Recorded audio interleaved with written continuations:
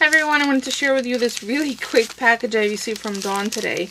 Um, she sent me, before I show you that, uh, two great sets that she got, I think she said at Marshall's, or I can't remember now.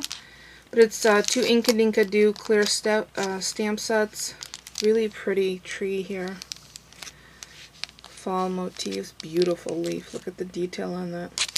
And this one is Filigree Fall. There's the code number if you want to look that up. And then this one is, um, looks like Inchies. Just says clear stamp. Let's see what the name. Special Thoughts is the name of the set. And these really cute images. Looks like a side of a building.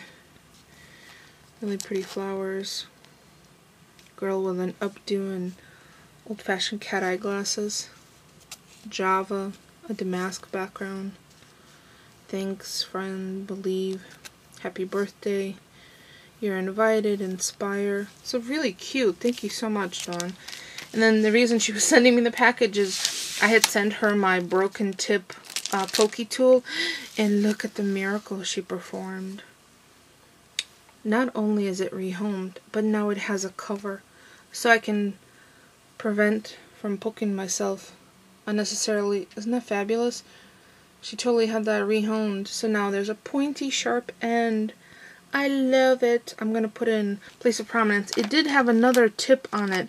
Dawn, you'll have to tell me if I should keep that one on as well. And it felt like there was a little bit of some something on there. So should this go on first and then this? Kind of looks like surgical equipment, but just let me know. And when I saw this package, I thought, oh, I can use my new Sizzix strip die with a snowflake on it. With it.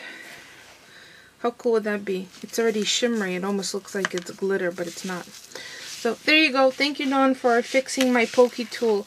I've missed him. I had some temporary replacements, but they were just like scabs, union scabs across the line.